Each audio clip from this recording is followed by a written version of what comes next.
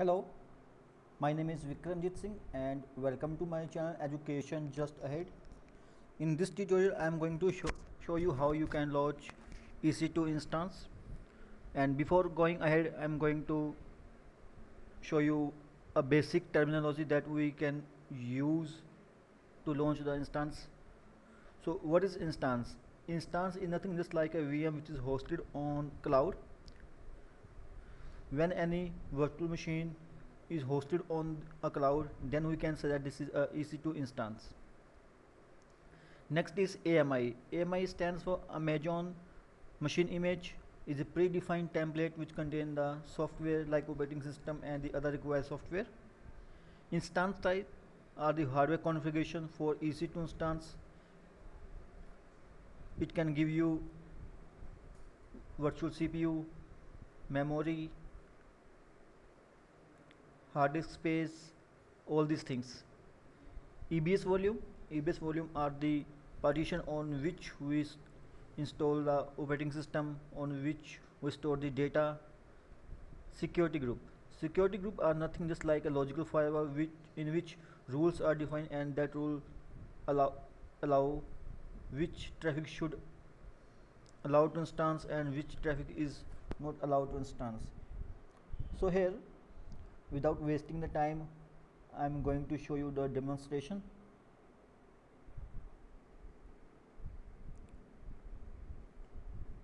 So this is the dashboard of the EC2 just click on the launch instance. Here it is saying to choose the AMI as I told you there are lots of images lots of AMI and you can choose any of the AMI as per your requirement. Here I'm going to choose Windows 2K8 click on the select. Next was is instance type. There are lots of instance type are given. T2 nano, T2 micro, T2 small, T2 medium and you can choose any of the instance type.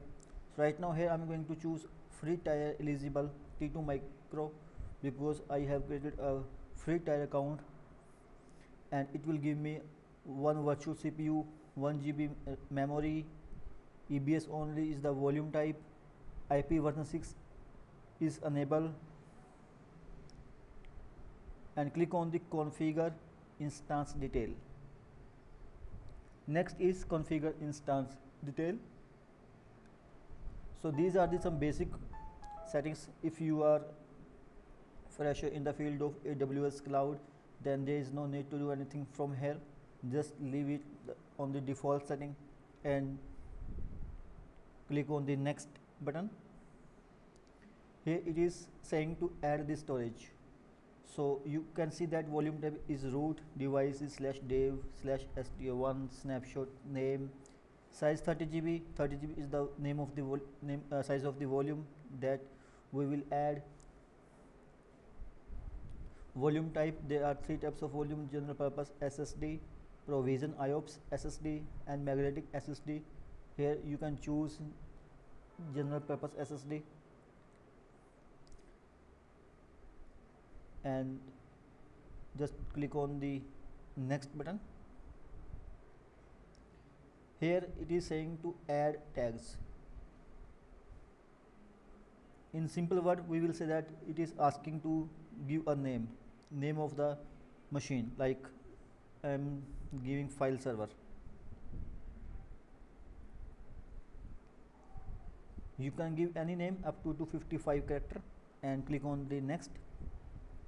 Security group as I told you security group are just the logical firewall in which rules are written and that allow you which traffic is allowed and which traffic is not allowed so by default one default security group is created by the AWS is given to you. And you if you want to create your own security group then you can also create like here I'm going to create a new security group. SG1 and click on the review and launch. And click on the launch button so here it is saying select an existing key pair or create, create a new key pair. Right now we don't have any key pair and we have to create a key pair. Key pair is just like a, a key it will contain it, it, it will have public or private key. Public key is kept by the AWS and private key is kept by the user who is launching the instance. You can give any key here any name and download the key pair. So right now we have download the key and I am going to keep this key on my desktop so that I can easily access it and click on the launch instance. So right now as you can see that your instance are now launching and if you want to see the logs these are the logs creating security group additional sorry authorizing inbound rule initiating launch and then just click on the view instance button. So here name is file server instance id instance type availability zone instance status pending. Status check is initializing. There are two types of status check and AWS will check both of these status.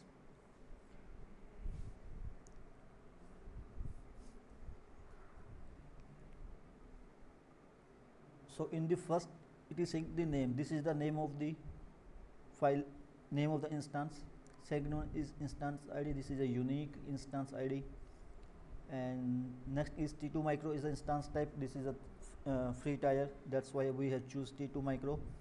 And next one is availability zone is ap northeast 1a availability zone is nothing just like a geographical location. And that that contains the data center on which our EC2 instance is hosted status sorry instance state. Previously it was pending so now it is in running state. Status check is still initializing.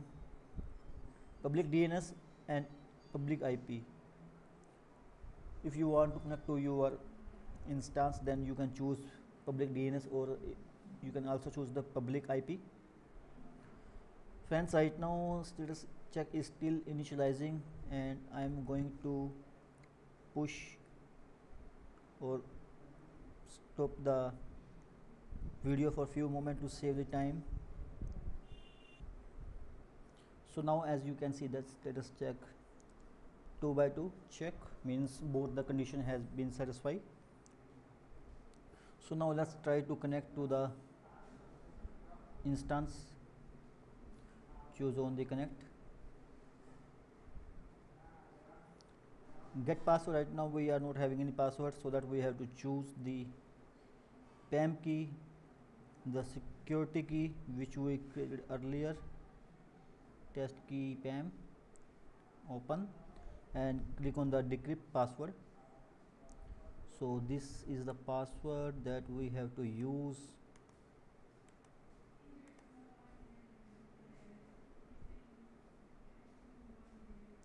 Click on the connect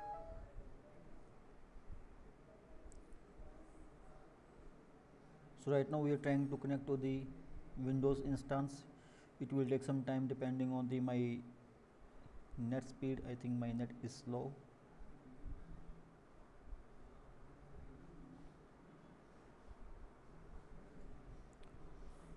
friends once again i'm going to stop the video to save the time once again.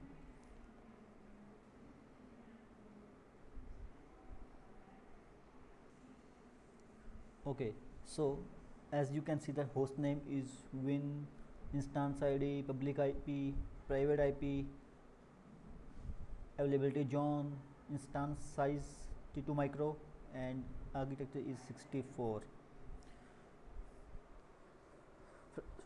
friends today in this video i show you how you launch the instance.